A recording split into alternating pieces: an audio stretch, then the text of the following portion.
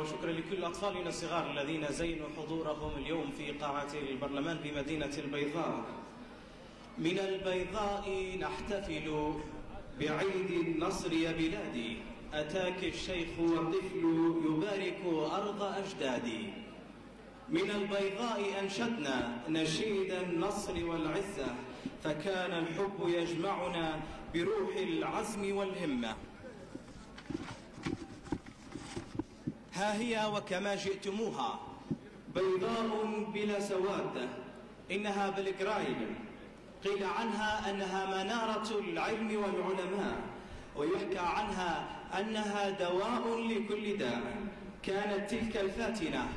قصدها الشعراء والفنانين والفنانون في شعرهم.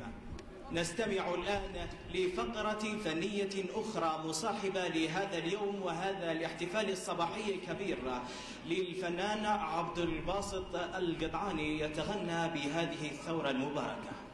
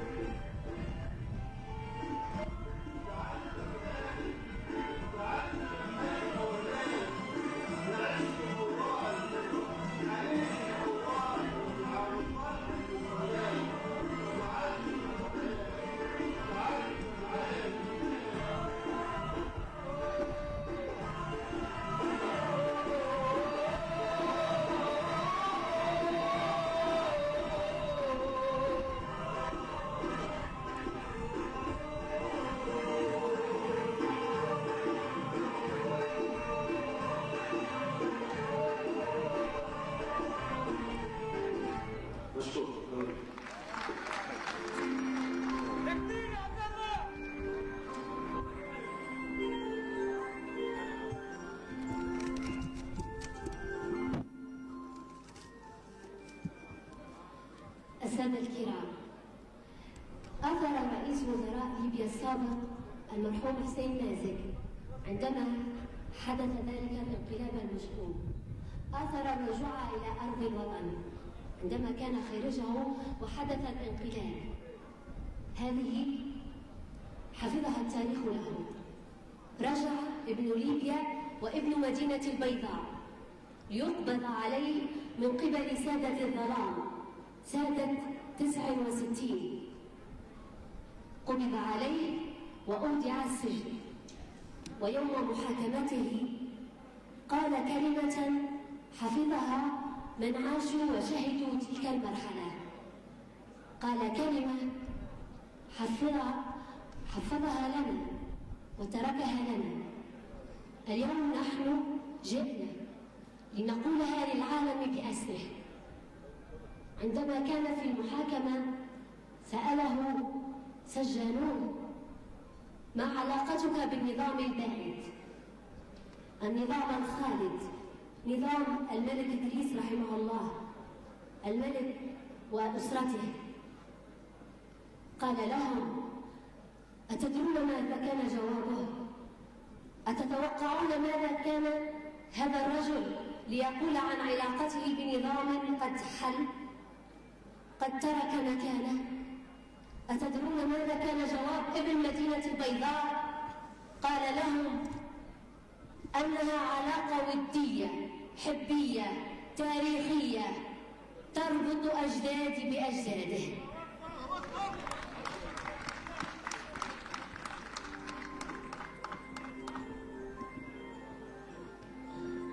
السادة الأفاضل اليوم نترحم على هذا الرجل الرائع. ليته حضر معنا هذه اللحظات. ليته كان معنا ولكن كلماته وقلبه وروحه وحبه لليبيا باقية ما بقيت هذه الحياة. إذا نستمع لمندوب أعيان عموم منطقة الجبل الأخضر الدكتور إدريس فضيل فلنحييه تحية.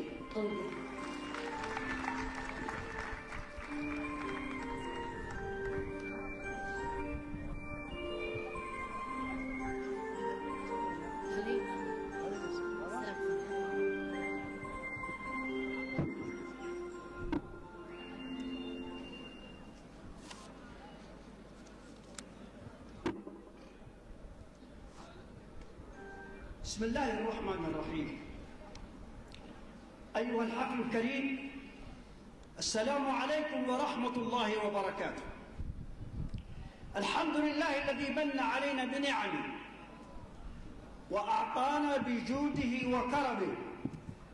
وإن تعدوا نعمة الله لا تحصوها.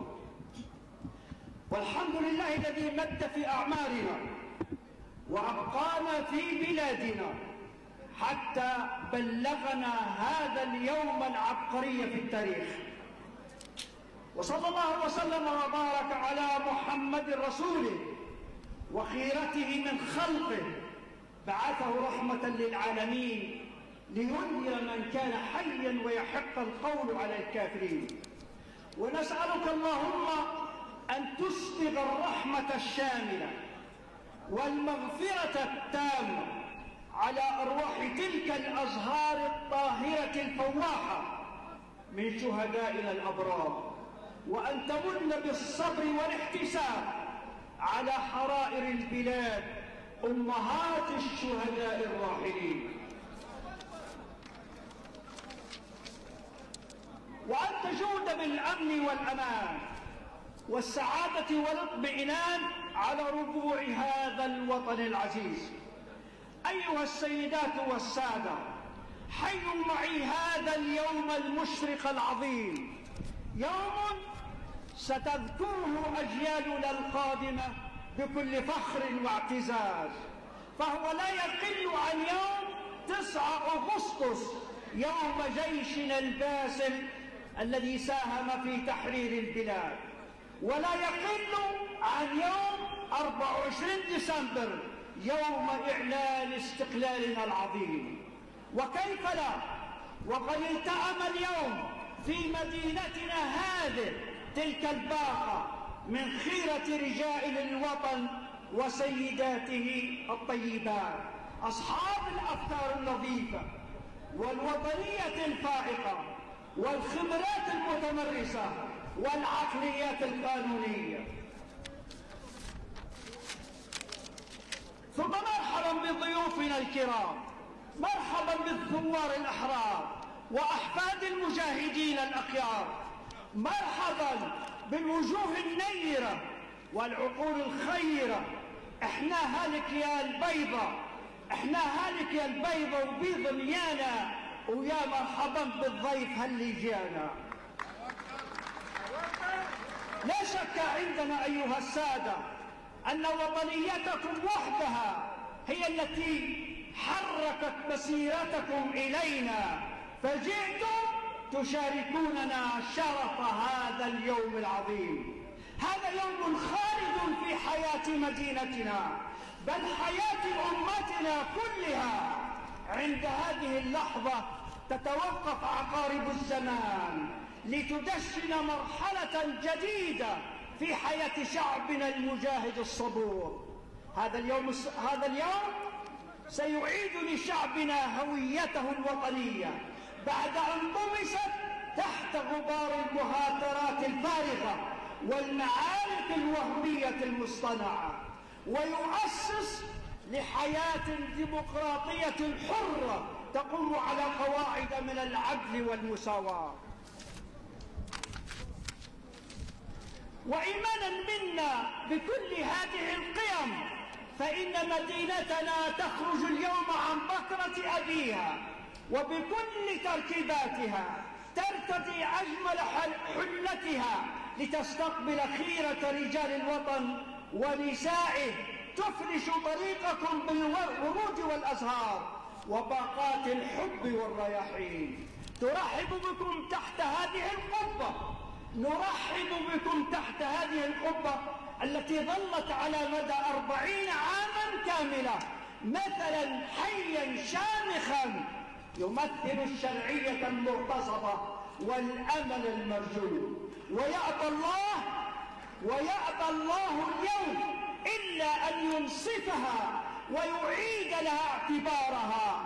وحي الله أبطال هذه الثورة الذين قال فيهم الشاعر يوم الثورة يوم 17 اثنين يوم خطورة اللي تيتلوا فيها أولاد صدورة جوها جرايد كل حد من جلها. أصحاب العوايد خششت المقبورة قديمي في التاريخ يا جاهلها.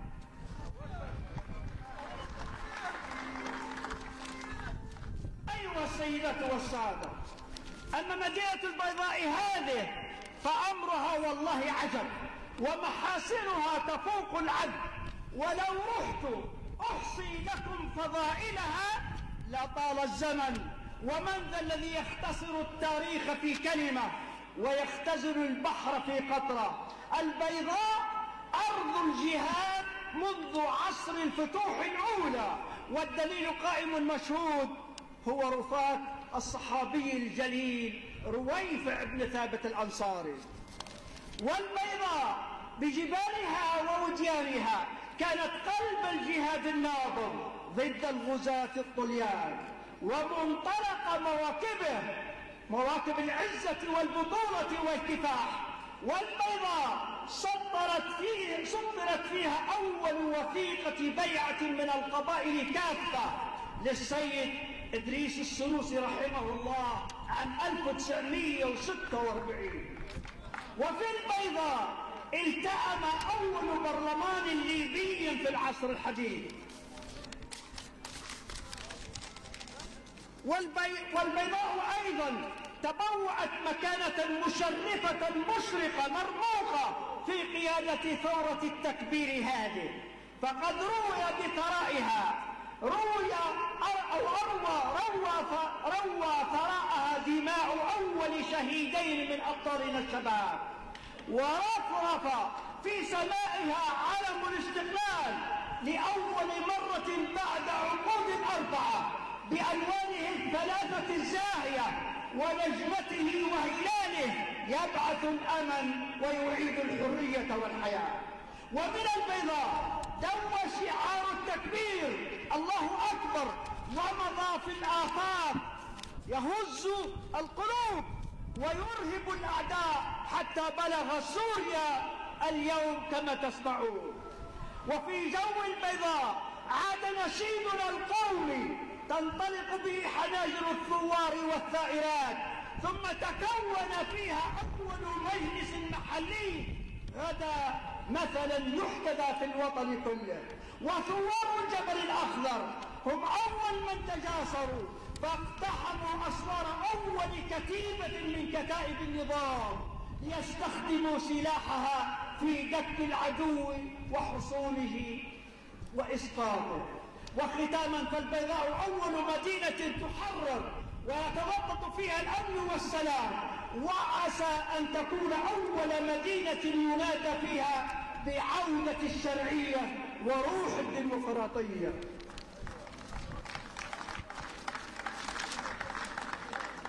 أما كلمتي أما كلمتي للسادة لجنة صياغة الدستور فإنني أقول إن بلادنا اليوم على مفترق الطرق وهذا يوم له ما بعده فإما حياة لا شماتة بعدها وإما ممات لعمري لم يقص بمماتي. نحن جميعا في مواجهة التاريخ فإما أن نكون وإما ألا نكون. غير أنه بتوفيق من الله عز وجل وبجهودكم وصحة عزائمكم تتحقق بإذن الله أهدافنا ونطبع على صفحة الزمن عظمة تاريخنا. فلتكن نظرتكم تتجاوز حدود الزمان والمكان. واعلموا أيها السادة أن أن كتاب التاريخ قد علقوا أقلامهم بين أناملهم ووضعوا صحائفهم بين أيديهم وانتظروا ما تملون عليهم من حسنات أو سيئات. تملوا عليهم من أعمالكم ما يدرب في نفوسهم مثل ذلك الأثر الذي تركته في نفوسكم تلك الصحائف البيضاء التي سجلها التاريخ لأولئك الرجال العظام. لقد تهيأ التاريخ اليوم لينصفنا ويكفر عن سيئاته نحونا ولكنه قد قد يتوقف عن مساعدتنا. ساعة تختلفون أيها السادة. فالتفتوا إلى معاناة شعبكم وآماله التي يعلقها عليكم. فاتقوا الله فيه اتقوا الله في دماء الشهداء وفي الشيوخ والنساء. إن شعبكم والعالم من حولكم يضع يديه على قلبه إشفاقا أن تتأخروا في إنجاز هذا العمل العظيم. واعلموا أن الدستور شيء مقدس رائع جميل. وإنما ينال قداسته من طهارة الرجال الذين يخطون ويصفون حروفا. فقلوبنا معكم ومستقبلنا رهن إخلاصكم ونهضة بلادنا متوقفة على نجاحكم. ولسنا هنا نقترح عليكم شيئا فأنتم في حل من كل اقتراح أو ضغط إلا ما تمليه عليكم ضمائركم وما تدلكم عليه عقيدتكم. ولكننا ولكننا نستحلفكم بالله الذي خلقكم وأنتم تؤمنون به وبمحمد الذي تحبونه وتقتنون به ثم بوطنكم الذي تعيشون فيه وبتاريخ أجدادكم الذي تعتزون به وبأطفالكم الذين تتقلب وجوههم في السماء طمعا في علم في أمن ينعمون به وعلم ينتفعون به. وبحرائقكم التي تتفطر قلوبهن حسرة على شهيد فقيد أو أسفا على جريح قعيد. نسألكم بذلك كله أن تنتهزوا هذه الفرصة الذهبية والصالحة التاريخية التي جمعتكم اليوم بينما جهاد آبائكم وتاريخ بلادكم ومصير شعبكم في مهب الريح. إن هذا اليوم له ما بعده. فلا تساقوا ولا تعاندوا. واصبروا وصابروا ورابطوا واتقوا الله لعلكم تفلحون. واعلموا أن حملة السلاح قد أدوا واجبهم وأنهوا مهمتهم. والآن جاء دور أصحاب العقول وبناة الأوطان. فهذا يومكم أيها الرجال والنساء. بقي بقيت كلمة أخيرة. أيها السادة والسيدات لا شك أن لقاءكم هذا جاء تتويجا لتمنيات محبوبة ومشاورات طويلة ثم لقاءات مكثفة استمرت زمنا حتى توجت بهذا اليوم المبارك العظيم. وأود باسم ليبيا العزيزة كلها ثم باسم الجبل الأخضر وأهل البيضاء أن أقدم جزيل الشكر وعاطر الثناء إلى هذه الباقة الرائعة من الرجال الأخيار والسيدات الفضليات الذين أوكلت إليهم مهمة التنظيم لهذا الحفل والرائع الجميل. فواصلوا الليل بالنهار حتى بلغوا بنا هذه الساعة الخالدة وهذا العرس الوطني العزيز. فحققوا بجدارة ثقتنا فيهم ودللوا بحق على وطنيتهم فلهم من الله أحسن الجزاء. ثم منا جميعا جزيل الشكر والثناء وعاشت ليبيا حرة مستقلة أبية والسلام عليكم.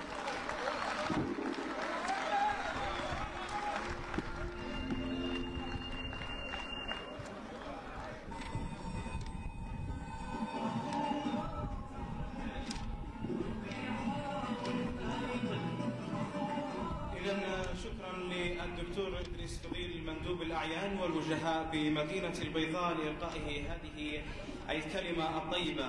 السيدات والساده حضورنا الكرام مدينة البيضاء العريقة ستكون مدينة داعمة وحريصة على استكمال المؤسسات التي من شأنها إرساء دعائم دولة ليبيا الجديدة التي طالما انتظرها الليبيون مدينة البيضاء مدينة الجهاد والنضال المدينة التي احتضنت أول برلمان لدولة ليبيا بعد الاستقلال. المدينة التي سقط بها أول شهيدي هذه الثورة المباركة. المدينة التي شهدت تكوين أول مجلس محلي بعد الثورة والذي انبثق منه باكورة المجلس الوطني الانتقالي. المدينة التي شهدت انتخاب أول مجلس بلدي واختيار مدينة البيضاء لاستضافة الهيئة التأسيسية لصياغة مشروع الدستور. أمر ليس بالهين وينبغي لذلك الوقوف الجاد والحريص حتى نصل للتوفيق والسداد والرؤية الحكيمة للأمور. ووضع دستور يرضي كافة الشعب الليبي ليكون لبنة بناء دولة ليبيا الحبيبة. ونطلب من الجميع أن يقف صفا واحدا لدعم هذه اللجنة وتوفير سبل الراحة لنجاحها وأداء عملها على أتم استعداد. السيدات والسادة حضورنا الكرام يقول الشاعر يا دامي العينين والكفين إن الليل زائل.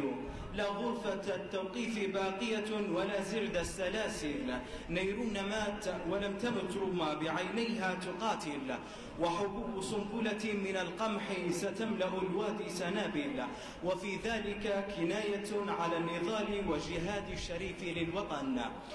السيدات والسادة حضورنا الكرام نستمع الآن لكلمة مختصرة لعن عن مندوب الأعيان وعن مندوب شهداء وثورة السابع عشر من فبراير السيد إبراهيم بزامة فليتفضل مشكورا.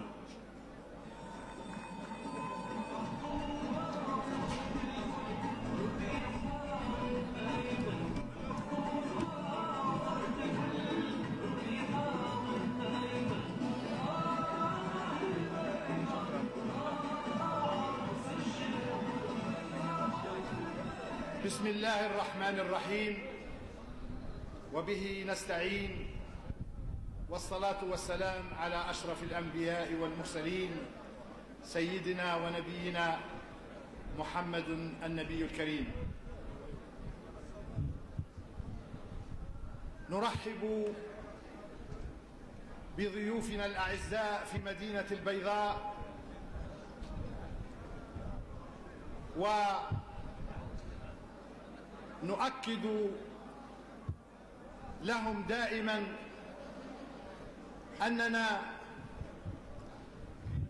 نرحب بهم في كل وقت وحين.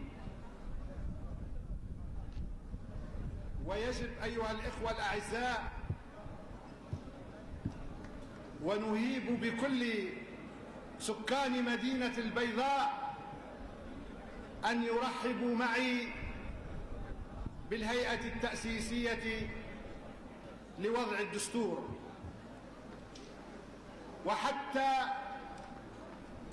لا أطيل عليكم أيها الإخوة فإنني أذكر هذه الهيئة التأسيسية لوضع الدستور بما حملني به آباء الشهداء آباء وأمهات وإخوة وأخوات الشهداء. كل أسر الشهداء في مدينة البيضاء وفي ليبيا كافة. حملونني أو يحملونني برسالة أنقلها إلى الهيئة التأسيسية للدستور. ويحددون طلبا واحدا من هذه الهيئة وهو إنجاز الدستور وتقديمه لخدمة الوطن في أقرب فرصة ممكنة. فنحن أمام ظروف عصيبة وأيام تعج بالمخاطر. وإذا وصلنا معا إلى وضع الدستور فتأكدوا بإذن الله إننا حققنا النجاح. إنه يوم عظيم في مدينة البيضاء. النقطة الثانية التي أذكر بها الهيئة التأسيسية لوضع الدستور إنهم معنا هنا. في مدينة البيضاء وهذا بعد تاريخي يؤكد ويحمل هذه الهيئة مسؤولية إعادة التاريخ إلى نصابه. إعادة التاريخ إلى الأمجاد الماضية. فقد كان هذا فقد كان هذا المكان يعش في سنين مضت بأول بالبرلمان وبأعضاء البرلمان وبالحوار الديمقراطي وبالحوار المبني على الشرعية وعلى الدستور. فنريد من كل الهيئة أن تعيد تلك الأمجاد الغابرة أيضا لا يفوتني أيها الإخوة أن أؤكد للهيئة التأسيسية بأنهم في مدينة البيضاء هم أمانة في رقابنا ونؤكد لهم دائما أن البيضاء آمنة. هي آمنة بفعل هي آمنة بفعل أبنائها ورجالها وهي آمنة أيضا بأسرار أخرى. لا نشعر لا نحسها ماديا ولكنها تتحقق معنويا. فمن هذه المدينة انطلقت شرارة الثورة أو كانت إحدى شرارات هذه الثورة حتى لا أثير غضب آخرين. ولكن وأيضا نتأكد اليوم بأن البيضاء هي الشرارة في بناء الدولة.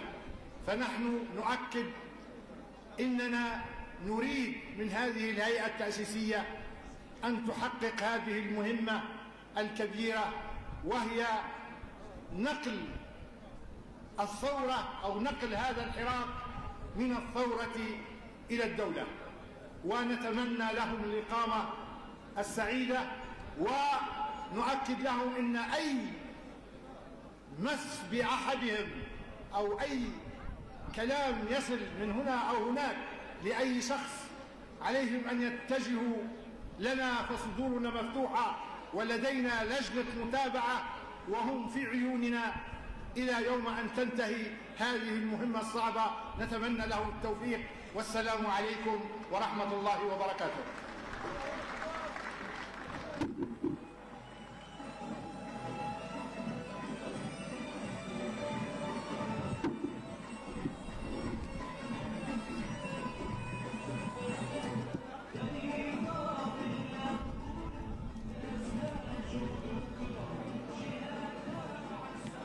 أي وطني لقيتك بعد يأس كأني قد لقيت بك الشباب الصباح أيها الناس لقد عاد الصباح وكم مرت بنفوسنا وخلجات نفوسنا.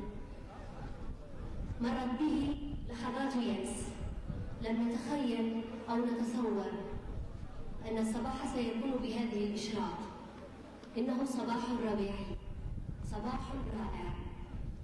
صباح يعدنا بالسؤدد والسمو والرفعة هذا الصباح بدد معه معالم اليأس والانكسار.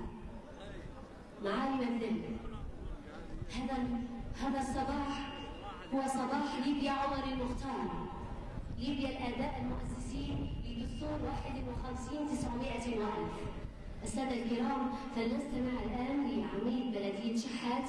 هذه الكلمة يلقيها لحضراتكم.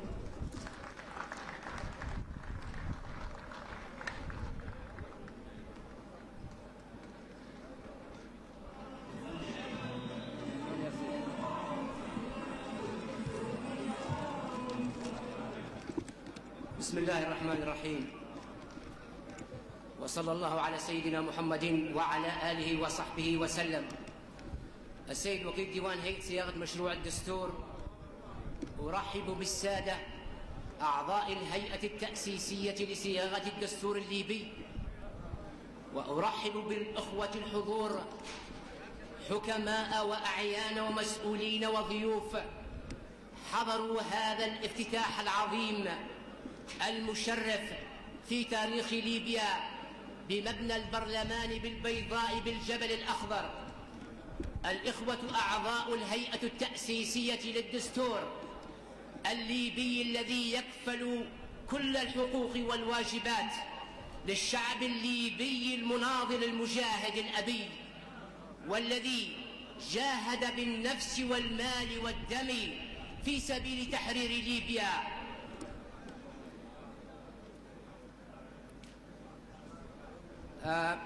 والذي جاهد بالنفس والمال والدم في سبيل تحرير ليبيا العظيمة التي قاس شعبها ويلات الحرب والظلم والاستعمار والقهر ولكن الشعب الليبي الأبي قام بثورة السابع عشر من فبراير العظيمة والكبيرة التي أذهلت العالم والتي خاض فيها الشعب معارك حامية وشديدة وشجاع وشجاعة نادرة لتحرير ليبيا ضد لتحرير ليبيا والقضاء على الطغاة والظالمين والحاقدين الذين كانوا ضد حرية الإنسان وكرامته.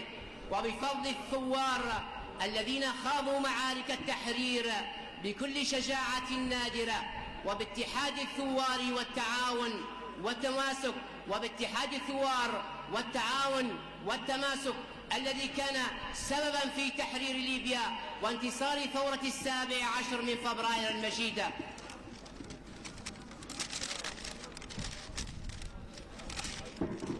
وبهذه المناسبة السعيدة الفريدة في تاريخ ليبيا فإننا نرحب بكم في مدينة البيضاء المجاهدة وفي منطقة الجبل الأخضر الأشم الذي كان مسرحا للجهاد الليبي ضد الاستعمار الإيطالي بقيادة شيخ المجاهدين عمر المختار ورفاقه الأبرار المجاهدين من أنحاء ليبيا الأمة برجالها الشرفاء وأعلامها الذين يصنعون ويرسمون الطريق.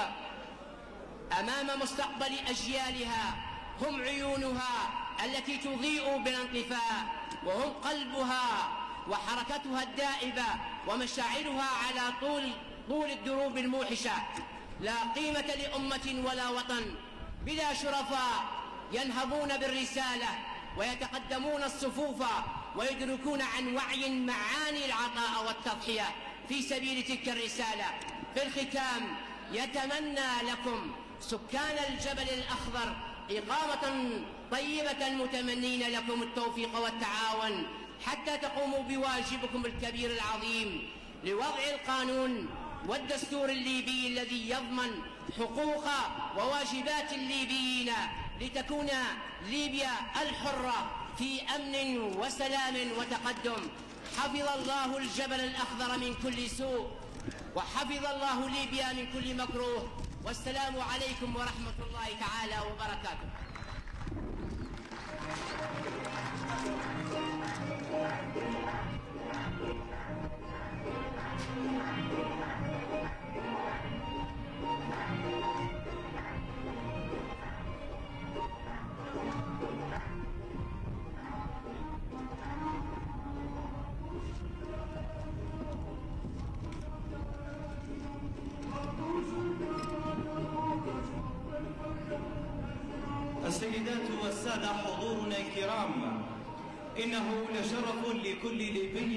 أن يبتسم لهذا اليوم فقد ثأرت الثورة لشهدائها الأبرار وأعلنت أن الوطن سيرتفع بالجميع من شماله وجنوبه وتكوينات وشرقه وغربه وتكويناته ولغاته حتى تتحقق مبادئ المساواة والمواطنة واحترام الحقوق بين الجميع. السيدات والسادة حينما نتذكر الآباء المؤسسين لهذا البرلمان في هذه المدينة تحن قلوبنا لتلك الأيام السابقة. ومن محاسن الصدف أن يكون الآباء المؤسسين للدستور الجديد للبلاد سيكتبونه أيضا من هنا من مدينة البيضاء بقيادة رشيدة ورؤية حكيمة. نشد جميعا على أيديها. أما الآن حضورنا الكرام الكلمة لمندوبة المرأة في ثورة السابع عشر من فبراير تلقيها السيدة فاطمة محمد أحمد العكرمي أخت الشهيدين وابنة العضو رقم 60 لدستور لدستور 1951 فلتتفضل مشكورة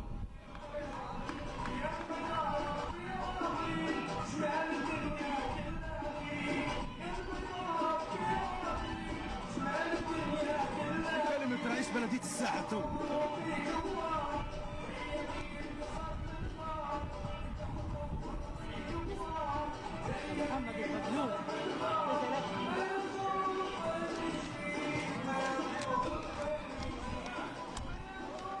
بسم الله الرحمن الرحيم.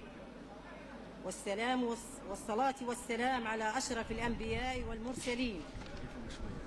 من عرين عمر المختار.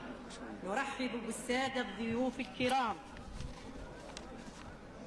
وها نحن حرائر ليبيا نشارك في بناء في بنائها كما نشارك في تحريرها.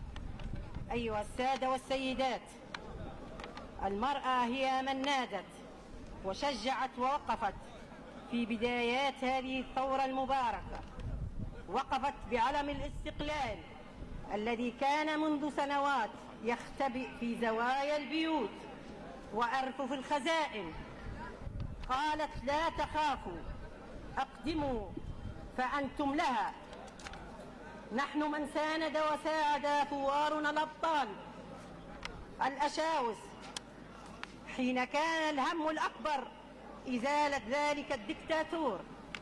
والآن كلنا أمل بل أحرار على إكمال المسيرة. والوقوف بكل قوتنا إلى جانب إخوتنا وأبائنا من الرجال من أجل مستقبل مشرف لأطفال ليبيا من أجل دولة المؤسسات والقانون دولة الحرية والكرامة. ونحن حريصات على دعم المرأة والدفع بها لتنال شرف بناء ليبيا وإعمارها دون خوف أو خجل. كلمتي الأخيرة لعضوات لجنة الستين. فلتكن أيديك الممتدة إلى كل نساء ليبيا من الشرق إلى الغرب ومن الجنوب إلى الشمال. فنحن نساء ليبيا نستحلفكم بالله العظيم. أن تكن اليد الكاتبة لكافة حقوق المرأة والنظر بعين الاعتبار لأسر الشهداء والمفقودين. وعاشت ليبيا حرة أبية والسلام عليكم ورحمة الله وبركاته. تصحيح الاسم فاطمة محمد أحمد البقلول العكرمي.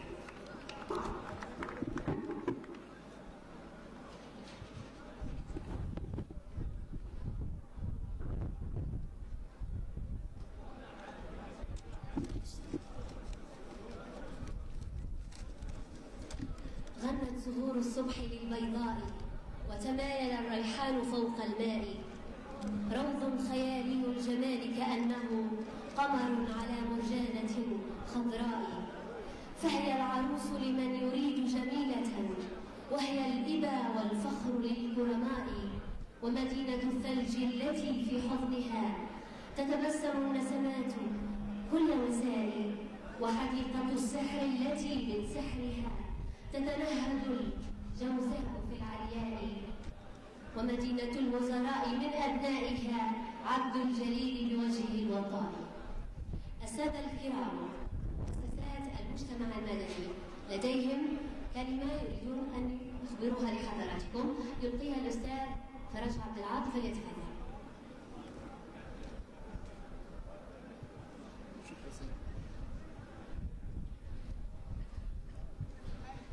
بسم الله والحمد لله والصلاة والسلام على رسول الله. أخوتي أخواتي باسم مؤسسات المجتمع المدني بالجبل الأخضر أترحم أولا على شهدائنا الأبرار الذين سقطوا في مواجهة الطاغية بعد أن أرسوا بدمائهم الزكية الطاهرة حدا فاصلا بين ليبيا الرسالة وليبيا الطغيان والذين أثبتوا إن كنا نساء الأرض يلدن الأطفال فإن النساء في ليبيا يلدن الأبطال. إخوتي إخوتي أخواتي يطيب لي باسم كل مؤسسات المجتمع المدني بالجبل الأخضر أن نرحب بضيوفنا ضيوف مدينة البيضاء الأعزاء من نخبة لجنة صياغة الدستور وأعضاء وأفراد الهيئات السياسية والمنظمات المحلية والدولية والإخوة الإعلاميين. واعيان وحكماء ورؤساء وأعضاء المجالس البلدية ولكل الجمع الكريم. أخوتي أخواتي في هذه المرحلة الدقيقة من تاريخ شعبنا وبلادنا في مفترق الطريق للعبور من مرحلة الثورة إلى مرحلة الدولة كل التمني على رجالات لجنة صياغة الدستور أن يخرجوا علينا بدستور رائع. كروعة يومنا هذا بدستور يسع الجميع تكون فيه ليبيا دولة مدنية ديمقراطية موحدة تقوم على أساس المواطنة والتعددية ومبادئ الشريعة الإسلامية السمحة. تكون السيادة فيها للشعب يمارس فيها السلطة عبر انتخابات حرة وشفافة بما يكفل التبادل السلمي للسلطة. مع الفصل مع الفصل بين السلطات واحترام التنوع الثقافي واللغوي والتراث المشترك. للمجتمع الليبي. كما أننا نحن كمؤسسات مجتمع المدني نأمل الآتي واحد أن تنظر اللجنة التأسيسية بعين الاعتبار لدستور الآباء والأجداد لعام 1951 المعدل في عام 1963 اثنين عدم التدخل في شؤون هذه اللجنة التأسيسية من أي طرف؟ يعني التمني كل التمني أن حد ما يتدخلش في شؤون اللجنة التأسيسية لصياغة الدستور. ثلاثة المحافظة على أمن وسلامة كل أعضاء هيئة صياغة الدستور وهذه تعتقد أنها مش أفراد الأمن يتكفلوا بها بس يتكفلوا بها كل عرب البيضاء إن شاء الله. أخوتي أخواتي نسأل الله أن تكون مدينة البيضاء وكما عودتنا دائما على مستوى الثقة والحدث ويوفق أهلها في خلق المناخ الآمن والمريح لإخوتنا في لجنة صياغة الدستور حتى ننعم جميعا وفي أسرع زمن. بدستور يؤهلنا للدخول إلى دولة إلى الدولة متراسفين ومتوافقين ليبيين وليبيات على قدم وقلب واحد. شكرا لتواجدكم وشكرا لحسن استماعكم. والسلام عليكم ورحمة الله وبركاته. هناك باقة هناك باقة من الصهور تقدمها مؤسسات المجتمع المدني بالجبل الأخضر الأخوة في لجنة صياغة الدستور فليتفضل تفضلوا أخوة لجنة أخوة المجتمع المدني بقول حد من لجنة صياغة الدستور معنا على أساس يستلم باقة الورد مع الأخت حليمة. الأخت الأخت حليمة أبو زيد مع الأبلة فريحة. برضه يشاركونا في إعطاء باقة الصهور للإخوة في لجنة صياغة الدستور. هذه كعبون محبة. وتعاون من من مؤسسات المجتمع المدني بالجبل الأخضر مع لجنه صياغه الدستور ونقول لكم وناكد لكم نحن في الخدمة في أي شيء تروه ولا أي شيء تطلبوه من مؤسسات المجتمع المدني فنحن متواجدين ونحن في الخدمة دائما بالنسبة للجنه صياغه الدستور وشكرا. السلام عليكم. البقرة هذه مقدمه من مؤسسات الجبل الأخضر في اسم اسر الشهداء والجرحى والمفقودين ومؤسسات مجتمع لليبيا والشعب بارك الله فيكم السيدات والسادة حضورنا الكرام أصحاب المعالي يطيب لنا اليوم يطيب لنا اليوم ونحن أمام استحقاق ستتحول ليبيا به إلى وطن. وطن كان في أحقابه ماضيا مغتصبا ضاعت فيه ثرواته واختفت ملامحه وبسماته. اليوم سنبدد الظلم وسنشرق مستقبلا للليبيين أجمعين. أننا نقف أمام حاضر ومشرق بخطوات ثابتة وواثقة. نستمع الآن إلى كلمة مختصرة للمجلس المحلي الساحل.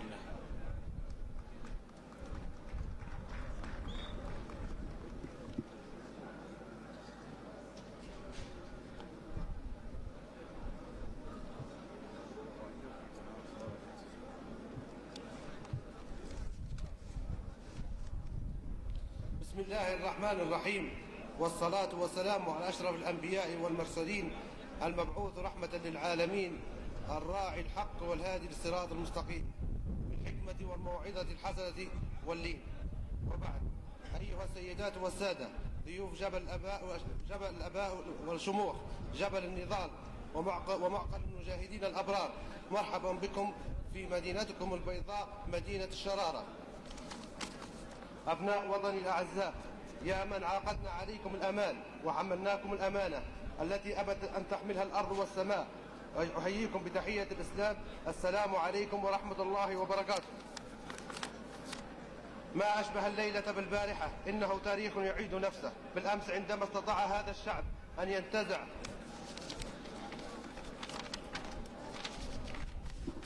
أن ينتزع استقلاله وينال حريته. كان هذا الشعب المناضل أمام امتحان تاريخي لا يتجاوزه إلا شعب عريق في تاريخه راسخ في قيمه متينا في نسيجه الاجتماعي قويا في عقيدته. كيف سيتصرف الليبيون؟ كيف كيف يبنون الليبيين دولتهم؟ وهي التجربة الأولى التي يخوضها عبر تاريخه الطويل من أين يبدأون؟ فكانت البداية طبيعية. هي وضع الدستور ولم يفكروا بشيء آخر. إنهم في حاجة إلى عقد. ينظم حياتهم ويحدد حقوقهم وواجباتهم فوضعوا الدستور الذي هم هو مرجعية لكل, القوانين التي تنظم حياة أفرادهم المجتمع وتصون كرامتهم وتحفظ حريتهم وتحقق أمنهم وسلامتهم. أولئك الرجال صنعوا مجدا وبنوا بلدا في ظروف غاية الصعوبة. بلد تغلبوا على تلك الظروف.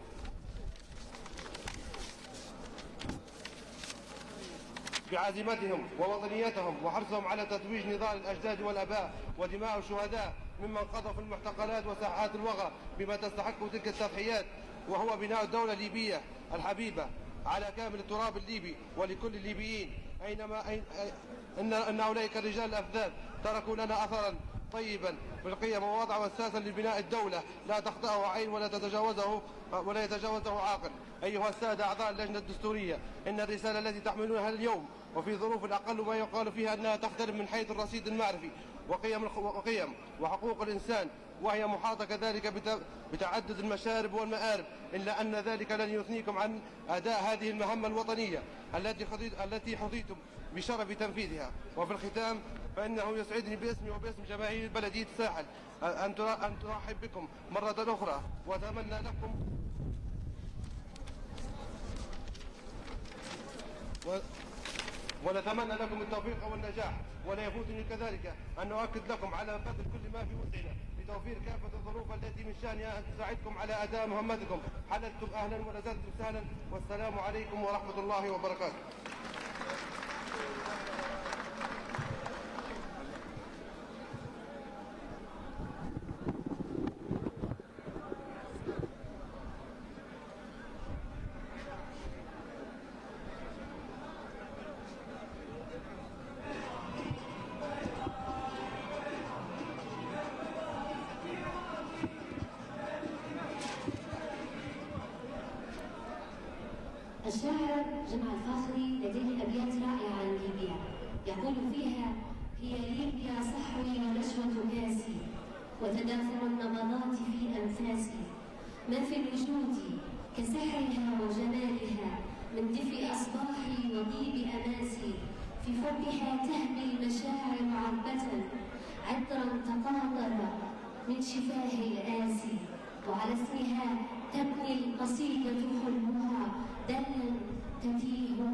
بقدها المياسي هي ليبيا نبع المحبة والهنا صور احتدام العزم عند الباسي السادة الأفاضل لمدينة المرج حضورهم المميز معنا هذا اليوم فليتفضل الأستاذ يلقي هذه الكلمة عن مدينة المرج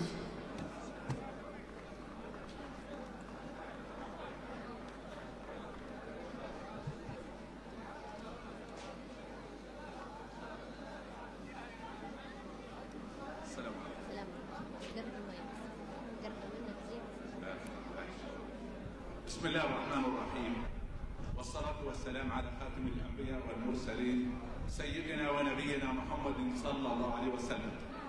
باديا ببدء نقدم الشكر والاعتزاز لأهل مدينة البيضاء بكامل تركيباتها الاجتماعية لاستضافة هذا اللقاء الطيب المبارك.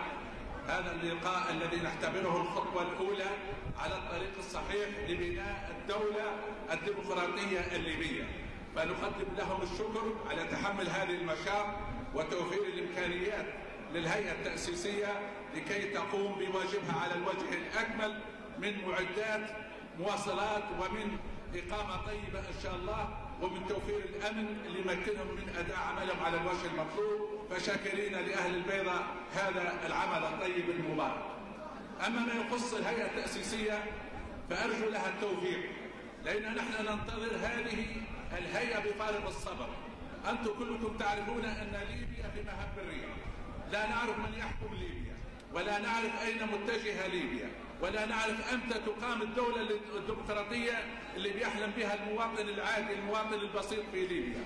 فأرجو من هذه الهيئة أن تكون دماء الشهداء أن تكون أرواح الشهداء ودماء الجرحى ونظرة الأطفال ليبيا الأبرياء وأمل المواطن الليبي العادي أن تكون أمانة في رقابهم ويراعوا هذه الأمانة.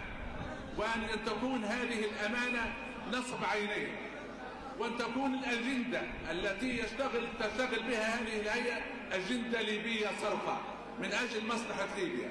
فبارك الله في الجميع. آملين لهم التوفيق في هذه المهمة وأن, يست... وأن يختصروا الوقت بقدر الإمكان. لأن عندنا يتم البرنامج بكرة أفضل من بعد بكرة. وخلال شهر أفضل من شهرين فأرجو لهم التوفيق وأرجو أن تكون آه الوطنية هي المقياس اللي بيقيسوا عليه أعمالهم فأرجو لهم التوفيق ورب إن شاء الله يوفقكم والسلام عليكم.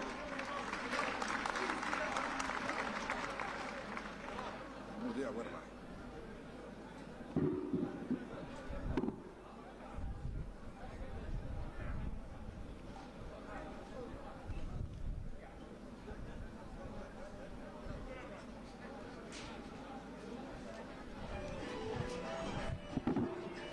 السادة والسيدات الحضور الكرام نستمع الآن أيضا لكلمة مختصرة لمدينة القبة وما جاورها الممثلين عن مدينة القبة.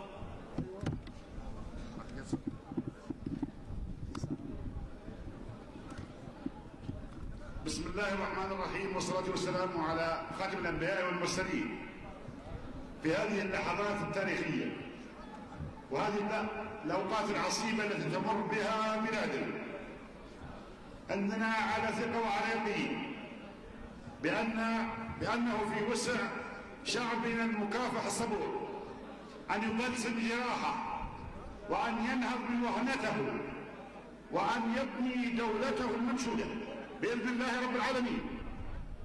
إن, إن أمل البلاد على رقي شبابها وأمل البلاد على أن تحافظ على إرثها العظيم الذي تركه لنا بناة ليبيا الذين أقاموا الدولة والذين صانوها وجاهدوا بسبيل حماية أرضها والذين انتزعوا استقلالها والذين كتبوا دستورها. إننا نترحم على أولئك الرجال الذين ماتوا وهم مكافحون على حدود الدولة. وإننا نترحم على أولئك الشيوخ الذين انتزعوا استقلال ليبيا والذين كتبوا دستور 1951 أننا نترحم على تلك الأرواح النبيلة التي ليس لها طمع في منصب ولا مكسب إلا الحفاظ على ليبيا وعلى حدودها. واليوم تتقاذفنا الأمواج اليوم تتقاذف سفينتنا الأمواج وتتكالب علينا الأمم والعصابات والأيديولوجيات الفاسدة. والاستخبارات الدولية ونحن نعاني في هذه الأوقات العصيبة. كالغريق يتعلق بالقشة ليس لنا أمل إلا في الله سبحانه وتعالى وفي وفي شجاعة وإيمان المخلصين من أبناء هذه الأمة الذين نتمنى لهم النجاح والتوفيق ونتمنى أن لا ينسوا دماء الشهداء وآلام الجرحى. وحرقت قلوب الأمهات أمهات الشهداء وآباء الشهداء. وحرقت قلوب اليتامى ودموعهم. أن لا ينسوا أن لا ينسوا ذلك الإرث العظيم الذي تركه الأجداد في دستور 51 وكفاحهم ونضالهم أن لا ينسوا آلام آلام المعتقلين في في في بيرسس وفي البقالة وفي البريقة والمقرون والعقيلة. تلك الآلام الشديدة وتلك النفوس الطيبة التي زهقت في رمال البريقة والعقيلة لا ننسى معتقلين في منيانا الذين طوحت بهم عوادي الدهر في الجسر المجهولة البعيدة وماتوا هناك. لا ننسى شهداء مسلمين ولا ننسى الذين ماتوا في في في أسقاع حدود هذه الأرض الطيبة. لا ننسى دماء الشهداء ولا ننسى أرث الأجداد الذي تركوه لنا في الدستور 51 سيكون لنا هو والقرآن الكريم نبراس في إعداد الدستور الجديد ونتمنى لليبيا القوة ونتمنى لها النهوض وحفظ الله ليبيا ونتمنى لكم التوفيق والسلام عليكم ورحمة الله وبركاته.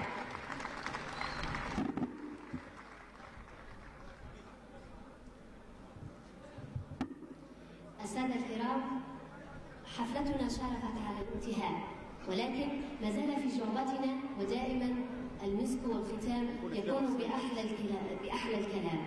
السادة الكرام يقول الشاعر فرج أبو الجود عن مدينة البيضاء أشبالها عند النجوم رؤوسهم وشيوخها أمم على الجوزاء تيه على وجه الزمان أبية كالحصن ممنوع من الأعداء قلبي لها وبها يفاخر للمدى. وبحبها أجدو مع الشعراء يا من تريدون الجنان فأقبلوا وتسابقوا فالحسن في البيضاء. رئيس ديوان مشروع الهيئة التأسيسية لصياغة الدستور الأستاذ عبد الله الصيفان كلمته الأخيرة يلقيها على حضراتكم. بعدها سنستقبل استقبال خاص أعضاء لجنة الستين. فليتفضل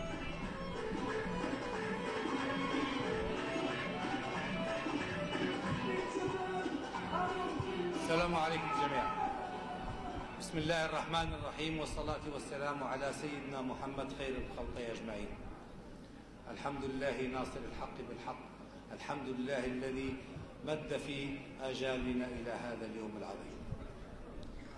سادة الحضور السيدات سيدات والسادة أعضاء الهيئة التأسيسية أصالة عن نفسي وأعضاء العامل في الديوان أقدم لكم كامل التقدير والثناء.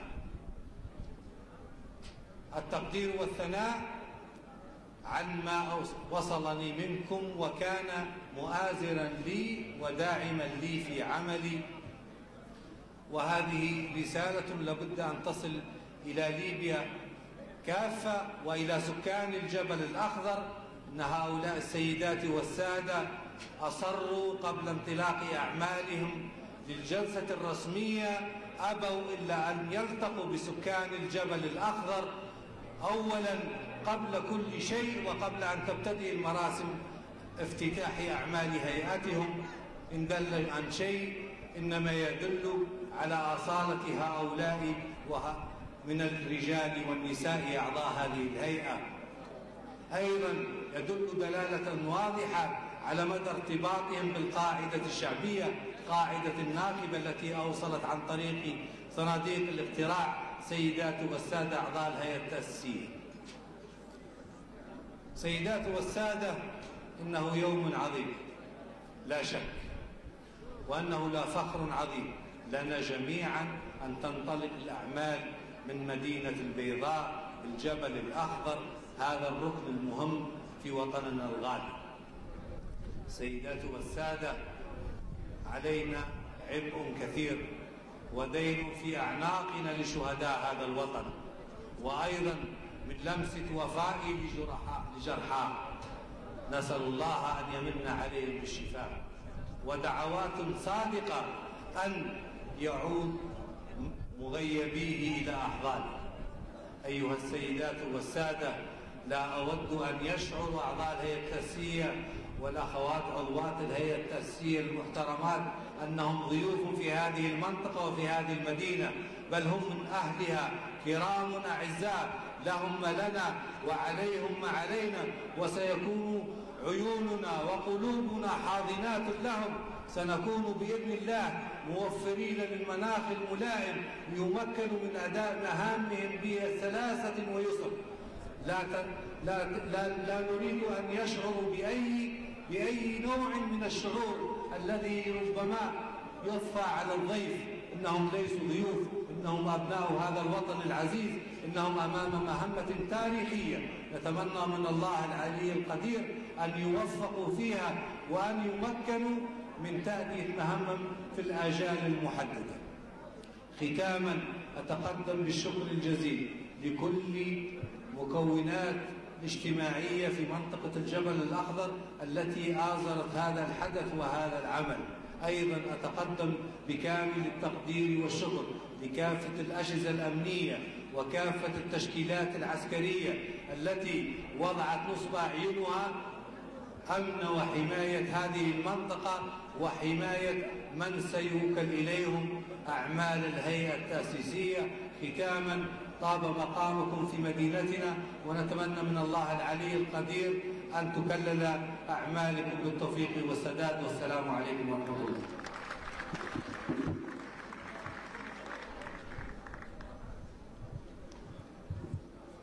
السادة الأفاضل البيضاء ترحب بضيوفها الكرام. البيضاء ارتأت هذا اليوم أن يكون بعيدا عن الأجواء الحكومية والبروتوكولات والأجواء الرسمية. ارتأته جماهيريا شعبيا. هذه البيضاء دائما تأتي بعفويتها. لا تحب أن تعنون بعنوان خاص أو تحدد بتاريخ معين. أعضاء هيئة لجنة الستين. سنتشرف بكم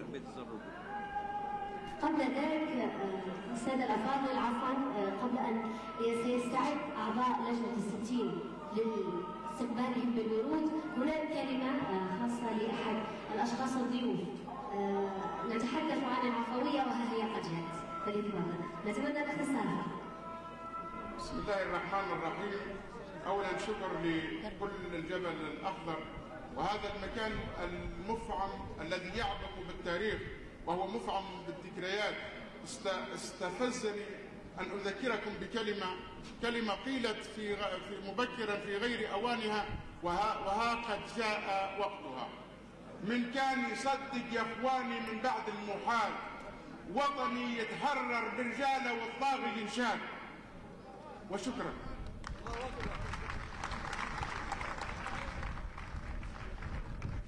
آباءنا أمهاتنا إخوتنا أخواتنا أحباءنا ضيوف مدينة البيضاء تفضلوا واحدا تلو الآخر. لتستلموا باقات التكبير والورود. فلتتفضلوا أمام الكاميرات لنستقبلكم بالحب وبالسؤدد وبالمحبة.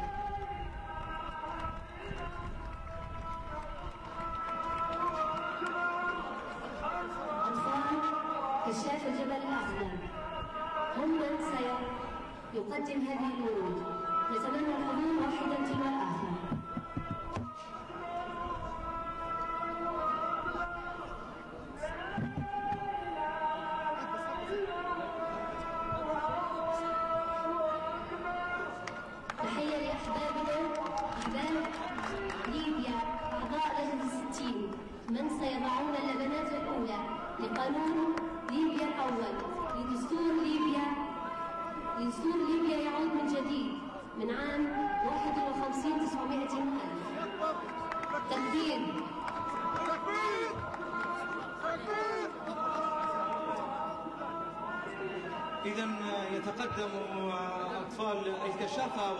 والمرشدات عن الحركة الكشفية لمدينة البيضاء لتقليد الورود فوق رقاب أعضاء الهيئة التأسيسية لصياغة الدستور. ونطلب من الجميع الابتعاد قليلا عن منصة الشرف. نطلب من الجميع الأخوة الإعلاميين نطلب من الجميع الابتعاد قليلا عن منصة الشرف. إذا ها هن العضوات اللاتي سيكون في لجنة الدستور وصياغته وكما أسلفت زميلتي أنهن سيكون اللبنة الأولى لبناء دولة ليبيا وبناء دستورها المبارك. إخوتي الحضور الكرام الحرية التي منحت لنا بالمقابل الثمين ألا وهي الدماء الزكية. بشهدائنا الأبرار فلنكن جديرين بالمحافظة عليها كما قال الملك الراحل محمد إدريس السنوسي بعيد الاستقلال حينما قال فلنكن جميعا جديرين بنيل الحرية وأن نعلن الوقوف الجاد والحريص على كل خطانا وأن لا ننجر وراء الأفكار الخداعة والتي من شأنها تفتيت النسيج الليبي المترابط. وأقولها هنا رغم ما يعصف بالوطن وما يمر به. هناك الملايين. وهناك الألوف المؤلفة من أبناء الوطن الطاهرين وأقولها دائما أبناء الوطن الطاهرين ممن يلبسون أكفانهم استشهادا في سبيل حبة من تراب ليبيا الغالي. وأبناء هذه المدينة الطيبة من البواسل والأحرار سيكونون يدا واحدا وقوية أمام من يفرق ويعطل هذه المصلحة السياسية الكبرى والتي ينتج عنها ضمان الحقوق وإلزام بالواجبات ألا وهو الدستور. السيدات والسادة نشكركم على حضوركم ومشاركتكم في هذه الاحتفالية الكبرى للهيئة التأسيسية لصياغة مشروع الدستور. السادة الأفاضل نتمنى الضيوف الكرام من حضراتكم البقاء في أماكنكم لتقديم المرتبات وكل ما يلزم واجب الضيافة منكم. سادتي الأفاضل كرمنا ولا زلنا. أعضاء هيئة لجنة الستين الهيئة التأسيسية لصياغة الدستور.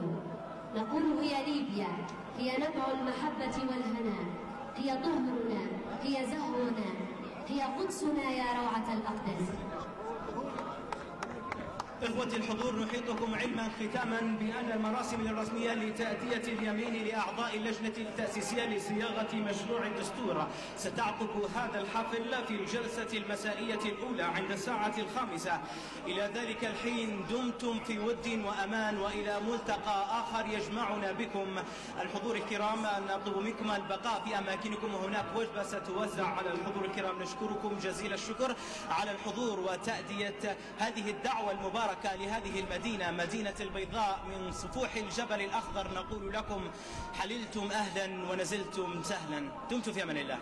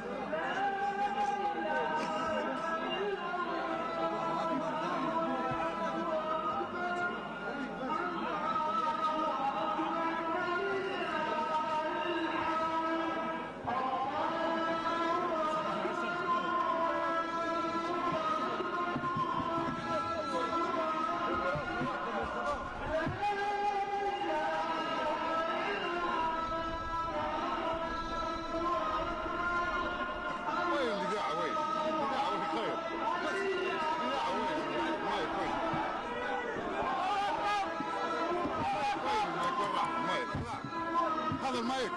وحجي عبد الله يا عبد الله. ها؟ جاب العليم الغالي